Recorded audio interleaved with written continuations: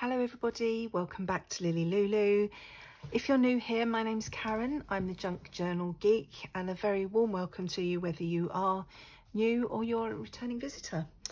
So today I'm here to do the full flip through of Lorelai, which is the autumn journal I've been working on.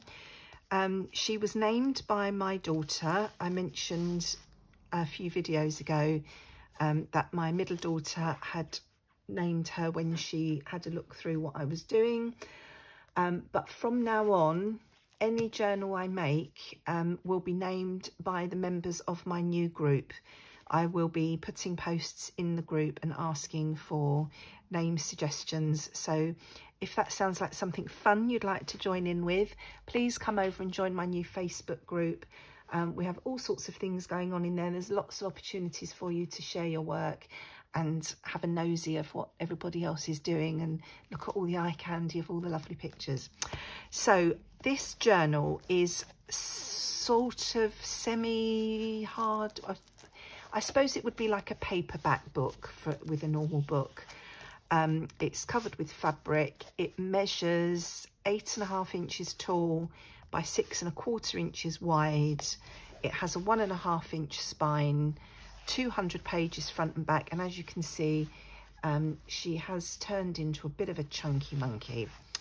So um, I made the um, topper on camera. So you've seen that before. You know what that's made of. And I've just used some old sari silk as a closure um, just to keep it together because it is bit of a giant one as my journals tend to be and that um, sari silk is just held on with a little button on each side.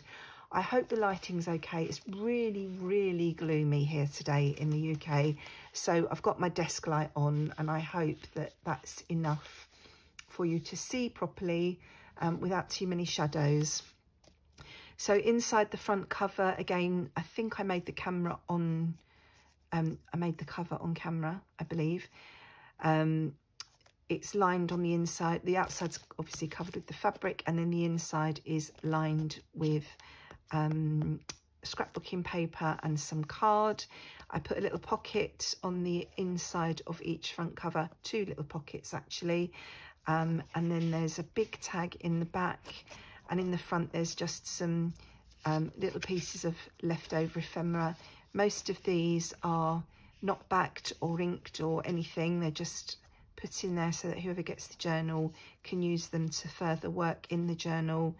Um, that one has been backed, but obviously onto a piece of junk mail, a junk mail flyer. Um, so obviously, if you wanted to use that to write on, that would need to be backed with some um, paper of some sort. But if you just wanted it for decoration or to make a little tuck spot, you know, I, I thought glue that on two sides and use it as a tuck spot somewhere. So that was my thoughts. Um, I will leave below the kits I used. They were mainly two kits. Um, they were both autumn kits, one from Sannie Creates and one from Val's Crafts Creations. Uh, we have a little lace pocket here with another big journal card and at the top there I've just used one of these leaves as a topper with a little button and some gold thread through it. Um, there's most of the things in here have been inked with vintage photo um, and a little bit of gold on some of the things. There's another couple of tags in there, in that pocket. Um, a lot of these things have been stitched as well. Then we have an envelope here the flap has been stuck down across the middle to make a tuck spot in the top and the bottom. And then we have this little ribbon tab acting as a belly band across here. There's lots and lots of blank pages in this journal um, for people to, you know, whoever receives the journal can either write in here, stick photos in, just decorate the pages, you know, whatever they want to do, there's plenty of space to do it but I have, I think there's quite a lot of decorative elements in here as well to keep it interesting. So we've got a double pocket here, one at the back with a tag in, and then one at the side with a journal card. These papers were absolutely beautiful and I really love the way this journal has turned out. I'm really pleased with it. Um, just got some crochet trim on some of these page edges. Pages are different sizes because um, one of the kits I used was A4 size and the other kit was US letter size. So the pages are different sizes, but it's a junk journal. um, that's the centre of the first signature. I was umming and ahhing with this. I was going to put buttons on the bottom of the centre strings. Then I was going to use um, charms and I just couldn't find anything I was happy with. So in the end, I've just tied it in a bow so you've still got the length. And then whoever has this journal can obviously either cut that off or add their own dangles to it and make it their own. So here we've got one of my pages of pockets that I like to do. So we've got one, two, three, four pockets here, all sort of staggered and layered. And each pocket has got a journal card in it. Um, and then this one's got an envelope that was from one of the kits with a few little, as I say, little leftover ephemera pieces in there. And then there is an original piece of vintage ephemera, which is a Brooke Bond tea card. You can see that. Max is trying to get under my desk, so I'm sorry if you can hear a bit of clanking about there. There's a tin of buttons under there and he's knocking it, so it's making a clanky sound. So yeah, what do you think of this journal? What do you think of the colours? What do you think of the name? Would you, would you have called her something different? Let me know in the comments. These um, papers are not um, from the kit. These are my own digital papers that I made to go alongside the kit. This is the other half of that envelope. So this is the actual envelope side. Um, I've covered the front with that card to make it a proper pocket, you know, so you didn't have the V there. Just decorated it with a postcard. There's a bit of gold around there. Max, what have you got?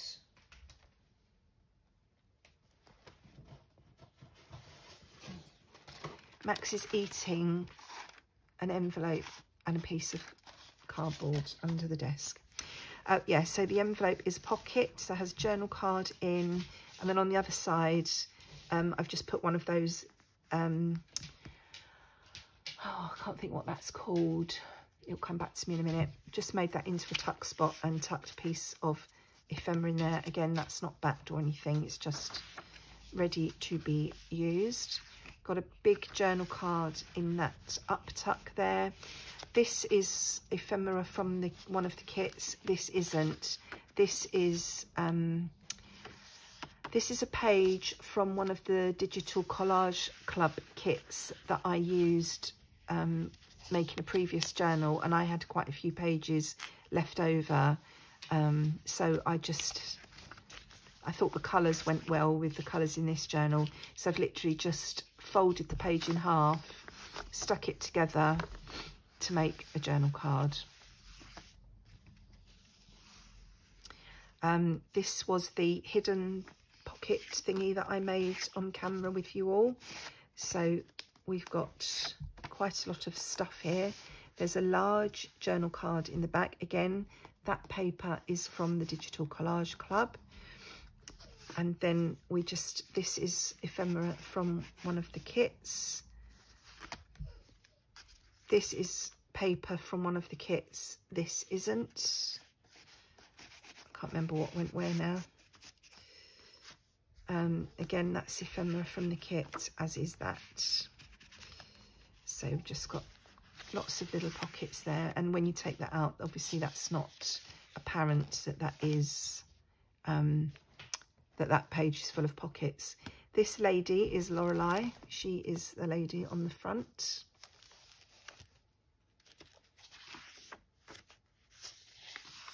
in my head she's Lorelai. and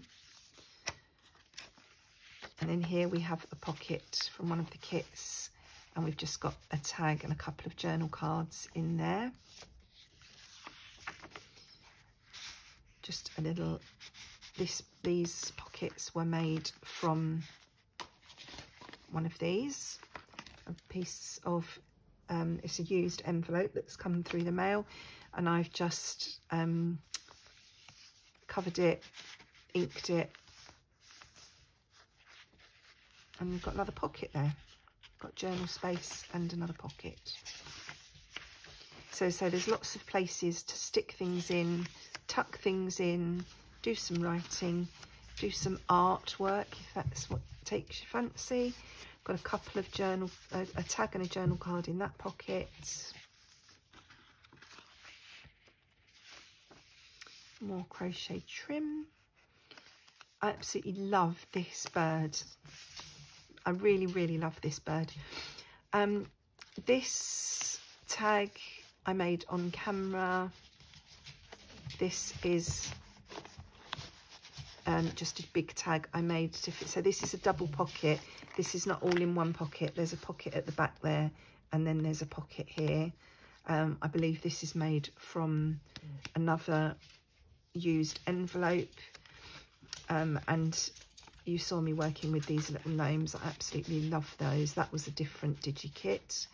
Um, and again, one of those leaves as a little tab tag topper um, because I like the way they look. You know, I like all this frou-frou at the top of the journal. And then there's the centre of the second signature. There's three signatures in this book. I don't know if I mentioned that. And again, I've just tied it in a bow. And then we have these um, three, they could be belly bands or bookmarks were part of the kit. And I've just cut them out, stitched them and then stuck them down as three belly bands and then just layered all this stuff in there. So we've got another original piece of vintage ephemera there, a tea card. We have a journal card. We have a little tag. We have an envelope from one of the kits. And in there is another little journal card. And at the back, we have a bigger journal card. So I don't think I will try and get everything back in there. I will leave that and do it off camera. Otherwise, will be all day watching me fiddle about with that. Another one of those lovely birds.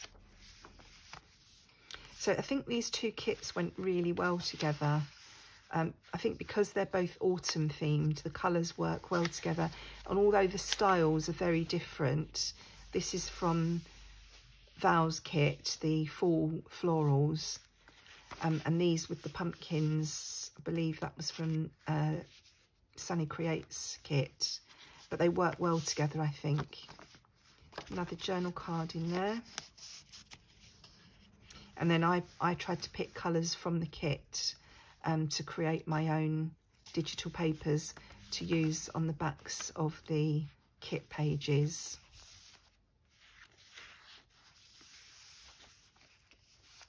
Then we have another lace pocket here, another large journal card, and then in this envelope, again, which is from the kit, I've just popped in there um, a lot of the ephemera pieces that I haven't used so that they're ready to be used in the journal.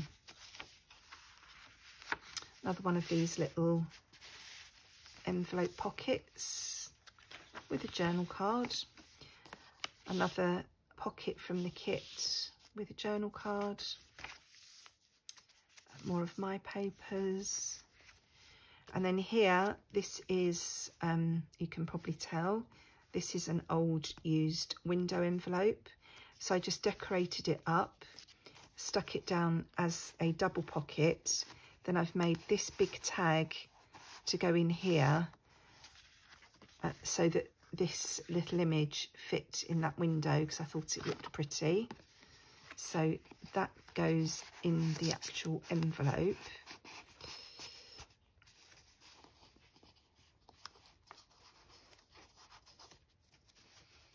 And then we have another pocket behind, which has a journal card inside. And then we're into the final signature. So here, I think I did this on camera with you. We've got the layered pockets and there's a journal card in each of the pockets. I won't take them all out. You can, you can see how they look. And there is one in the back as well, which is a little trickier to get hold of because of the back, the, you know, the page behind it. It's quite near the edge, but there is one in there. So it's good for secret journaling. And then a couple of extra pieces of ephemera tucked into this little belly band that I popped on the front, um, just made from that ribbon. So if you have any questions about any of this, um, please do ask in the comments below. I did mention before that I was launching my um, membership for junk journalers in the UK to receive a surprise box every month full of bits to junk journal with. Um, that is now live, so I will try and remember to leave a link um, below for that as well in case anybody is watching um, is interested. It's got another couple of journal cards in the little top corner pocket there. This is more of my paper. And then we have another one of these envelope pockets. Again, I've just popped on a little tuck spot in the corner there. That's just a piece of ephemera that's not been backed or anything. On the other side, I've done the same again, just decorated the envelope with card and a postcard and then popped a little journal card in there. Another page of pockets here. So again, each pocket has something tucked in. I haven't put anything, if you take all this out, these, the, this is a tuck spot and this is a tuck spot and this is tuck spot as well. So there is plenty of room to hide other things um, if you want to. But I can't remember what I had where now. Was that one in there? Can't remember. But anyhow, that's how it all goes. There's bits, bits all over the place there for you to play with. And then this is another little tuck spot with a journal card inside. This lovely chap is another one of those double envelope pockets. So there's a tag in the back there and a journal card in the side there. Sorry about Max, he's just decided that he wants to go out even though I've just let him out before I turn the camera on, so I'm sure he can wait. Now we're into the middle of the third signature. Got another envelope pocket here. So we've got a journal card in the back or a tag in the back and a journal card in the side there. More of my papers, more kit pages. And then we have here just a little collaged window envelope um, that I've actually used as a page this time rather than an envelope because I wanted to frame this image. And then this is a belly band from one of the kits. And in there I've just made this really scrappy little notebook with some leftover bits of paper um, and tucked it in there. So I say that is very scrappy. Is this the one yeah, this was the one that has my daughter's birthday on there. That's my youngest daughter. And then we have another page of pockets. Again, there's a journal card or something tucked in each pocket. There's an envelope in that pocket. And there's another um, tea card, original tea card in there. So there is some original ephemera in here. This is the other side of the envelope. So it's the same thing again with a tuck, a tuck spot top and bottom and the belly band in the middle there.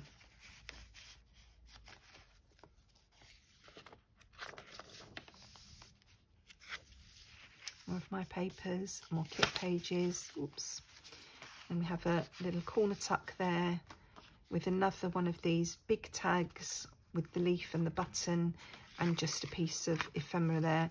I've inked that, but I didn't back it with anything because I thought you might want to write on that and stick it somewhere with a picture. Um, but if you did want to use it, you know, as something more substantial, it would need to be backed because it is just printed on paper. Coming to the end now. Oh, I've got a bit of junk mail in here because I was waiting for the glue to dry. I forgot to take it out. We'll get to that in a moment.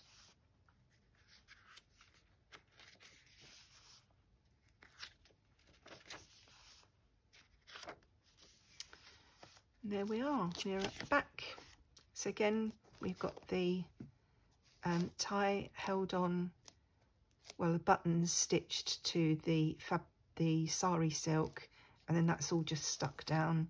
We've got another double pocket, same as the front, big tag in the back, and then just some pieces of ephemera tucked in the front here. So that's how she's looking. What do you think? Do you like her? Do you think it's worked using those two kits together with the extras from other places? Let me know what you think.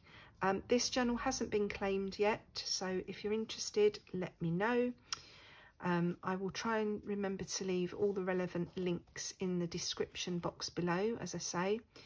Um, but if you have any questions or comments, I'll be happy to hear from you. So that's how she's looking. Lorelai is complete.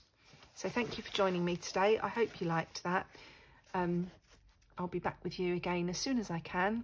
In the meantime, take care, look after yourselves and enjoy your own crafty time. Bye-bye.